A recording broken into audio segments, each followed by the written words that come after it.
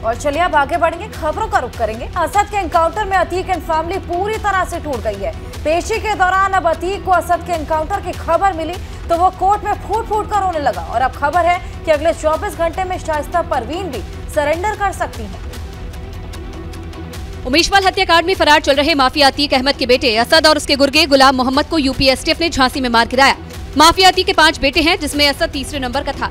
बेटे के एनकाउंटर के बाद अब खबर ये है कि माफिया अतीक अहमद की पत्नी शाइस्ता परवीन अगले 24 घंटे में पुलिस के सामने सरेंडर कर सकती है। बेटे असद का अंतिम बार चेहरा देखने के लिए शाइस्ता पुलिस के सामने सरेंडर कर सकती है। कोर्ट की बजाय पुलिस में सरेंडर करना चाहती है शाइस्ता। कोर्ट में सरेंडर के लिए लंबी प्रक्रिया का पालन करना पड़ता है। उसमें कई दिन का वक्त लग जाएगा। अति के बेटे असद का अंतिम संस्कार शुक्रवार शाम को प्रयागराज में किया जा सकता है। उससे पहले ही शाइस्ता परवीन सरेंडर कर सकती है। सरेंडर के बाद पुलिस से बेटे असद का अंतिम दर्शन करने की इच्छा जता सकती है। दरअसल उमेश पाल हत्याकांड में अति की पत्नी शाइस्ता परवीन भी आरोपी है। पिछले 48 दिनों से शाइस्ता परवीन फरार चल रही है। पाँच दिन पहले शाइस्ता परवीन पर पुलिस ने इनाम की राशि बढ़ा दी है। पहले पच्चीस हज़ार का नाम रखा गया था, जिसे बढ़ाकर पचास हज़ार कर दिया गया है।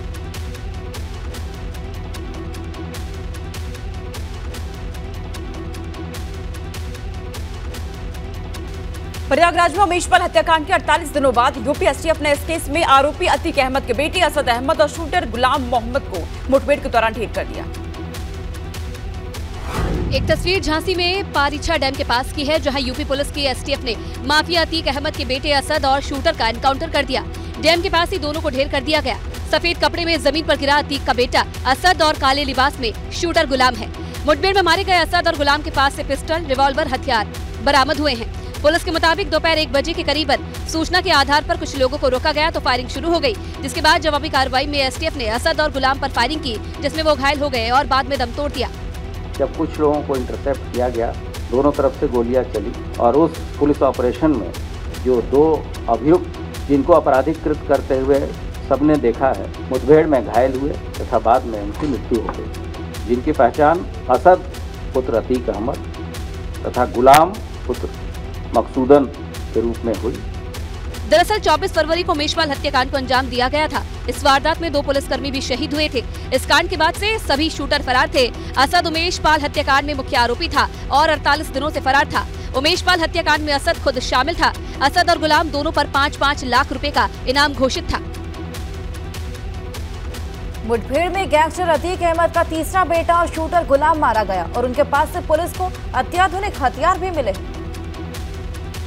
एनकाउंटर में मारे गए असद और गुलाम के पास से एसटीएफ को अत्याधुनिक विदेशी हथियार मिले हैं। असद अहमद के हाथ में वॉल्थर पी एटी पिस्टल थी जबकि शूटर गुलाम के हाथ में ब्रिटिश बुलडॉग रिवॉल्वर जो एसटीएफ के मुताबिक बेहद खतरनाक हथियार और रेयर वेपन्स है। फॉरेन मेड वेपन्स हैं। एक point four five five British bulldog revolver है। और एक Walther P eighty eight pistol है। ये दोनों वेपन्स बहुत ही रेयर हैं। वॉल्थर पी 88 पिस्टल जर्मनी में बनाया जाता है। वॉल्थर पी एक सेमी ऑटोमेटिक पिस्टल है जबकि ब्रिटिश बुलडॉग रिवॉल्वर एक पॉकेट रिवॉल्वर है। इसे आप आराम से जेब में छिपा सकते हैं। उमेश पाल और उसके दो गनर्स की हत्या के बाद एसटीएफ और यूपी पुलिस के लिए ऑपरेशन कितना अहम था इसको भी एसटीएफ के एडीजी ने साफ़ तौर पर बताया। इम्पोर्टेंट चैलेंजिंग केस था और इसमें लगातार यूपी एस ने अपनी पूरी ताकत लगा रखी थी। आज एक बड़ी सफलता प्राप्त हुई है जब दो शूटर्स को ट्रैक डाउन किया गया। एसटीएफ की इस कार्रवाई के बाद प्रदेश के मुख्यमंत्री योगी आदित्यनाथ ने एसटीएफ अधिकारियों के साथ पूरी टीम की तारीफ़ की है। यूपी एसटीएफ से हुई मुठभेड़ में मारे गए अतीक के शूटर गुलाम मोहम्मद के परिवार ने उसका शव लेने से इनकार कर दिया है। एनकाउंटर में अतीक के बेटे असद के साथ मारा गया शूटर गुलाब मोहम्मद के भाई। राहिल हसन ने अपने बड़े भाई का शव लेने से इनकार कर दिया है। हम लोग ने पहले मान से, हमारी पहले की बात हुई थी कि हम लोग शव नहीं लेंगे और माँ से मेरी बात हुई, हम लोग शव लेने नहीं जाएँगे। क्योंकि हमारा परिवार बहुत सम्मानित परिवार हमारे बाबा भी पार्षद रहे। बहुत ही सम्मानित परिवार है। जिस तरह का कार्य उसने किया है, परिवार को कलंकित करने का कार्य किया है उमेश पाल की हत्या के बाद 20 मार्च को प्रयागराज पुलिस और प्रशासन ने बुलडोजर चलवाकर गुलाम मोहम्मद का घर जमींदोज कर दिया था। इसके साथ ही गुलाम मोहम्मद के ऊपर पाँच लाख रुपए का इनाम घोषित हो गया था। उसी दौरान बेटी की हरकत को नामाफी बताते हुए ऐलान किया कि वो कभी उसका मुँह नहीं देखेगी। उसका आरोपी को सजा दीजिए। हम मना नहीं करेंगे। आप जितनी चाहे उतना सजा दीजिए। गुलाम मोहम्मद वही शूटर है जो 24 फरवरी को उमेश पाल पर हुए हमले के ठीक पहले घात लगाकर एक मोबाइल शॉप में ग्राहक बनकर छिपा हुआ था। और जैसे ही हमला शुरू हुआ तो गुलाम मोहम्मद मोबाइल शॉप से निकलकर उमेश पाल और सुरक्षा कर्मियों पर फायर करने लगा था। 24 फरवरी को हुए प्रयाग कांड के बाद से असद और गुलाम समेत पाँच शूटर्स की तलाश में पुलिस खाक छान रही थी, लेकिन 48 दिनों बाद मुठभेड़ में अतीक का बेटा और शूटर गुलाम मारा गया। पुलिस दोनों तक कैसे पहुँची, ये भी जानना ज़रूरी है। जिस बारिशा बाँध के पास एनकाउंटर हुआ है, वो जगह झांसी मुख्यालय से सात किलोमीटर दूर पड़ता है। इस ऑपरेशन को यूपी एसटीएफ ने अंजाम दिया। इसमें दो डिप्टी एसपी और दो इंस्पेक्टर शामिल थे। एसटीएफ 48 दिन से लगातार इन्हें ट्रेस कर रही थी। दरअसल 24 फरवरी को उमेश पाल हत्याकांड के बाद असद और गुलाम बाइक पर बैठकर कानपुर पहुँचे। कानपुर से बस में बैठकर असद और गुलाम नोएडा डीएनडी पहुँचे। नोएडा के बाद दोनों ऑटो से दिल्ली के संगम विहार पहुँचे थे। दिल्ली के संगम विहार में असद और गुलाम पंद्रह दिन रुके थे। दिल्ली से असद और गुलाम अजमेर गए। अजमेर में भी असद और गुलाम कुछ दिन रुके थे और अजमेर से दोनों झांसी पहुँचे थे। एडीजी लॉ एंड ऑर्डर के मुताबिक पुलिस वारंट भी लेकर साबरमती और बरेली से अतीक और अशरफ को प्रयागराज लाई थी। पुलिस के पास से इनपुट थी कि रास्ते में काफिला पर हमला करके अपराधियों को छुड़ाया जा सकता है और इसे देखते हुए स्पेशल फोर्सेज लगाई गई थी। इस तरह के इंटेलिजेंस इनपुट थे स्थानीय स्तर पे या रास्ते में कॉन्वॉय पे हमला करके अपराधियों को छुड़ाया जा सकता है। उसको देखते हुए हमारी स्पेशल फोर्सेस तथा सिविल पुलिस की विशेष टीमें लगाई गई। फ़िलहाल असद और गुलाम के एनकाउंटर के बाद प्रयागराज में सतर्कता बढ़ गई है। सोशल मीडिया प्लेटफॉर्म्स पर भी नज़र रखी जा रही है। असद और शूटर गुलाम के एनकाउंटर के बाद उमेश पाल के परिवार ने मुख्यमंत्री योगी आदित्यनाथ का आभार जताया है। 24 फरवरी को उमेश पाल की हत्या के बाद से लगातार उमेश का परिवार यूपी सरकार से अतीक अशरफ और हत्याकांड में शामिल शूटर्स के एनकाउंटर की मांग कर रहा था। लेकिन अतीक के बेटे और उसके साथी की मुठभेड़ में मौत की खबर मिलते ही उमेश पाल की माँ और पत्नी ने 48 दिन बाद राहत की सांस ली है। मैं इस समय मुख्यमंत्री जी का बहुत बहुत धन्यवाद करती हूँ और पुलिस विभाग के ऊपर जो भी उन लोगों ने मुख्यमंत्री का आदेश था अपना फ़र्ज़ अदा किया जो उनको करना चाहिए उन्होंने अच्छा न्याय किया। असद और गुलाम के एनकाउंटर पर उमेश पाल की पत्नी जया पाल ने सीएम योगी आदित्यनाथ को धन्यवाद देते हुए कहा कि योगी जी ने अपना काम करके दिखाया है। माननीय मुख्यमंत्री जी को धन्यवाद देती हूँ, जो उन्होंने आज इतना बड़ा फैसला को अंजाम दिया। उन्होंने जो किया है, बहुत अच्छा किया है। उन्होंने अपनी बेटी का सुहाग के कातिलों को सजा दिलाई। 24 फरवरी को उमेश पाल पर अति के बेटे असद और उसके गुर्गों ने कोर्ट से लौटने के बाद घर के बाहर असलहों और बम से हमला कर दिया। हमले के दौरान असद ने ही गली में दौड़कर पाल को उनके घर के बाहर गोली मार दी थी। और हमले के दौरान बम मार रहे आरोपी। गुड्डू मुस्लिम के बम से उमेश पाल की सुरक्षा में तैनात सिपाही की जान चली गई थी। लेकिन असद और गुलाम के एनकाउंटर को लेकर अब उत्तर प्रदेश की राजनीति में भी उबाल आ गया है क्योंकि समाजवादी पार्टी ने इस एनकाउंटर के बहाने सरकार पर हमला बोल दिया। माफिया के बेटे असद और शूटर गुलाम के एनकाउंटर की खबर सामने आते ही सबसे पहले सपा के अधिकृत प्रवक्ता आमिक जामई ने एक ट्वीट करते हुए लिखा कि एनकाउंटर न्याय नहीं है। इसके बाद खुद सपा अध्यक्ष अखिलेश यादव ने ट्वीट करके एनकाउंटर ही नहीं बल्कि सरकार पर भी ये लिखते हुए सवाल उठा दिए कि झूठे एनकाउंटर करके भाजपा सरकार सच्चे मुद्दों से ध्यान भटकाना चाह रही है। भाजपाई न्यायालय में विश्वास ही नहीं करते हैं। आज के व हालिया एनकाउंटरों की भी गहन जाँच पड़ताल हो और दोषियों को छोड़ा न जाए। सही गलत के फैसलों का अधिकार सत्ता का नहीं होता भाजपा भाईचारे के खिलाफ है। उत्तर प्रदेश में फेक इनकाउंटर है। अधिकारी अपनी कुर्सी बचाने के लिए अधिकारी अपना सब कुछ दाव पे रख कर के सरकार के दबाव में ये घटनाएँ कर रहे हैं। इस एनकाउंटर पर एआईएमआईएम के अध्यक्ष असदुद्दीन ओवैसी ने भी सवाल उठाए हैं और असद एनकाउंटर को मज़हब से जोड़ दिया। जुनैद और नसीर को जिसने मारा तुम उसका भी एनकाउंटर करोगे। नहीं करोगे तुम। इसलिए नहीं करोगे क्योंकि तुम मज़हब के नाम पर एनकाउंटर करते हो। लेकिन भाजपा ने पलटवार करते हुए एनकाउंटर पर सवाल उठाने वालों की मंशा पर सवाल उठाए हैं। अखिलेश यादव और समाजवादी पार्टी की ओर से यूपी एसटीएफ और अतीक के बेटे असद के बीच हुई मुठभेड़ पर सवाल उठाए जाने पर भाजपा ने अखिलेश यादव से सवाल दाग दिए हैं।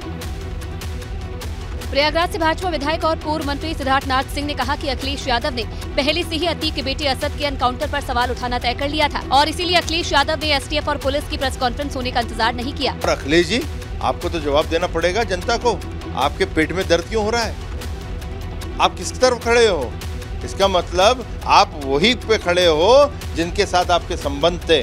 अतीक अहमद और उनके परिवार के साथ। सिर्फ़ अखिलेश यादव ही नहीं बल्कि मायावती ने भी एनकाउंटर पर सवाल उठाते हुए ट्वीट कर दिया कि प्रयागराज के अतीक अहमद के बेटे और एक अन्य की आज पुलिस मुठभेड़ में हुई हत्या पर अनेकों प्रकार की चर्चाएँ गर्म है। लोगों को लगता है कि विकास दुबे कांड के दोहराए जाने की उनकी आशंका सच साबित हुई है। अतः घटना के पूरे तथ्य और सच्चाई जनता के सामने आ सके इसके लिए उच्च स्तरीय जाँच ज़रूरी है। जिस पर डिप्टी सीएम केशव प्रसाद मौर्य ने विपक्ष को कटघरे में खड़ा करते हुए कहा कि एसटीएफ ने कानून ऐसी मिले अपने अधिकारों के तहत ही एनकाउंटर किया है। तो पुलिस के पास भी कानून के द्वारा दिए गए अधिकार हैं, उनके पास भी हथियार है।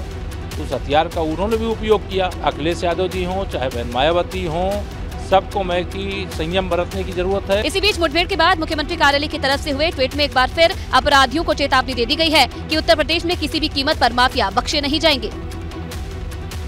उमेश पाल मर्डर केस में माफिया अतीक अहमद और उसके भाई अशरफ को कोर्ट में पेशी के बाद चार दिन के पुलिस रिमांड पर भेज दिया गया। और इसी बीच अतीक के रिमांड कॉपी से बड़ा खुलासा हुआ।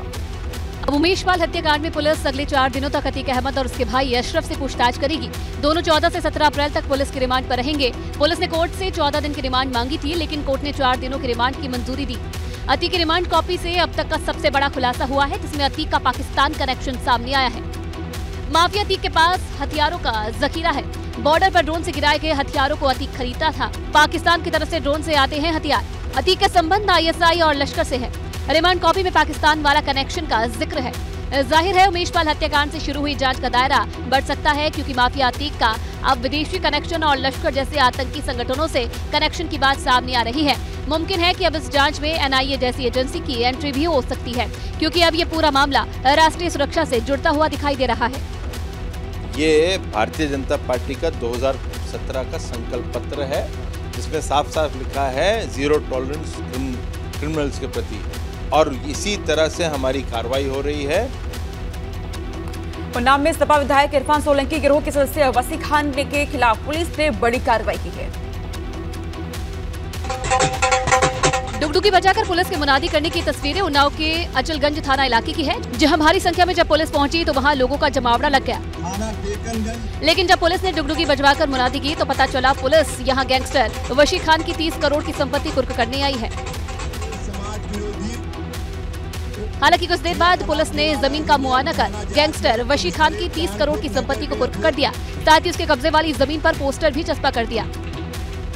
कुल करीब 30 बीघे ज़मीन लेकर इसकी प्लाटिंग कर रहे थे, जो इन्होंने अवैध संपत्ति बनाया था, जिसको जो है चौदह बटे एक के अंतर्गत तीस बीघे की संपत्ति कुल की जाती है, जिसकी कीमत वर्तमान में करीब तीस करोड़ रुपए है। दरअसल गैंगस्टर वशी खान इरफान सोलंकी का करीबी बताया जा रहा है, क्योंकि इस ज़मीन में इरफान सोलंकी का भी पैसा लगा है, जिस पर वशी खान अवैध प्लॉटिंग कर रहा था।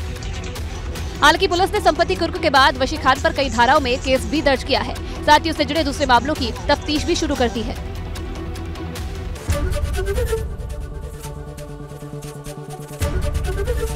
एबीपी गंगा खबर आपकी जुबा आपकी।